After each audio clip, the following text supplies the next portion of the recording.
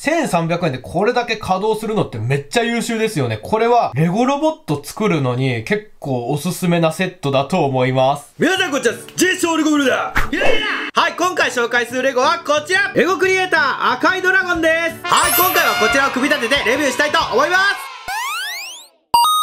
はい、こちらは今年の元日に発売された新しいレゴクリエイターです。2024年は辰年なので、まさに今年にぴったりのレゴクリエイターです。外箱はこのようになっていて、このレゴクリエイターはファンタジーの世界の生き物がモデルになっております。この赤いドラゴン以外に、魚とフェニックスに組み替えることができます。あの、魚はわかるんですけど、これ、フェニックスというよりかは、オウムかインコみたいですね。このレゴクリエイターも結構突っ込みどころ満載だなって思います。ちなみに去年の白ウサギの時にも言ったんですけど、来年はドラゴンのレゴクリエイター出るんじゃないかなって言ってたんですけど、まさに出ましたね。ただ、あの、僕が思ってたかっこいいドラゴンじゃなくて、今回は結構可愛らしいドラゴンになっております。はい、箱の後ろはこんな感じです。こちらの定価は1380円で、ピース数は149個です。あ、そうそう、2024年に発売されたレゴなんですけど、中の袋が紙袋になってるみたいなので、この赤いドラゴンが紙袋なのかどうかちょっと見たいと思います。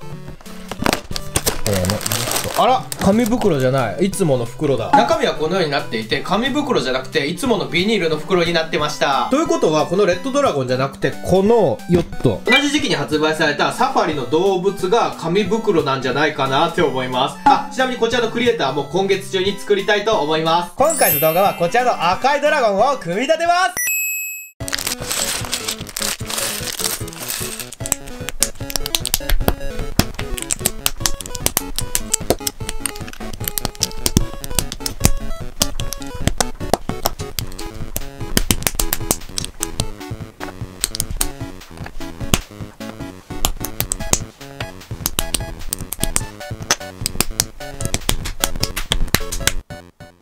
赤いドラゴンです。い。や最高ですねこれ。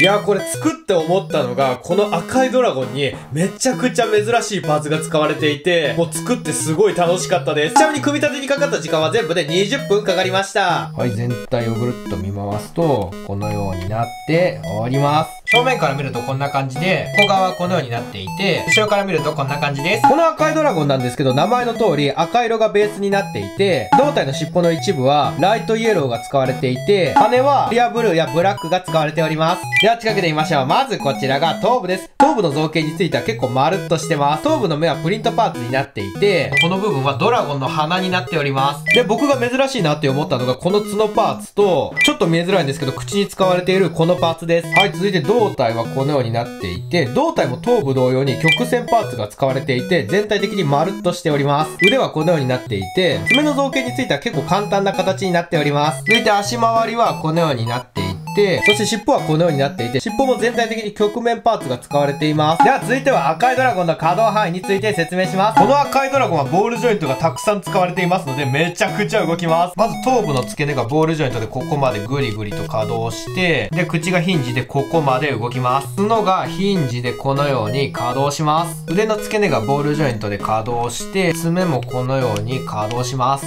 羽もボールジョイントになってますので、このようにグリグリと動かせることができます。足もボールジョイントでこのように可動します。で、あとは足首もこのように可動して、尻尾がヒンジになってますので、このように可動します。で、尻尾のつま先がボールジョイントになってますので、このように動きます。はい、可動範囲を活かしてこのようなポーズが取れたり、このように空を飛んでるポーズも難なくいけます。この赤いドラゴンめちゃめちゃ優秀ですね。1300円でこれだけ稼働するのってめっちゃ優秀ですよね。これはレゴロボット作るのに結構おすすめなセットだと思います。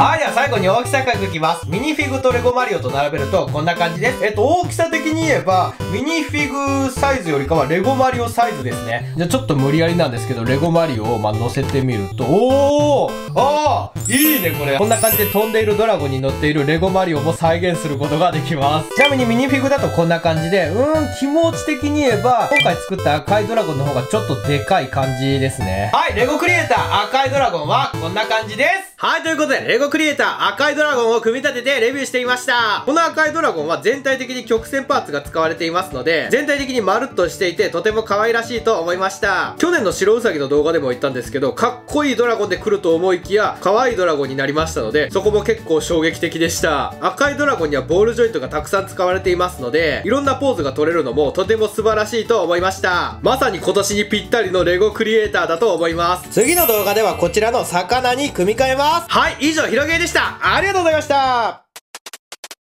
はい、動画を最後まで見てくれてありがとうございます。僕のチャンネルに登録していただくと、最新の動画がいち早く見れます。チャンネル登録や熱い高評価、どうぞよろしくお願いします。それでは次の動画でお会いしましょう。ほななイェーイ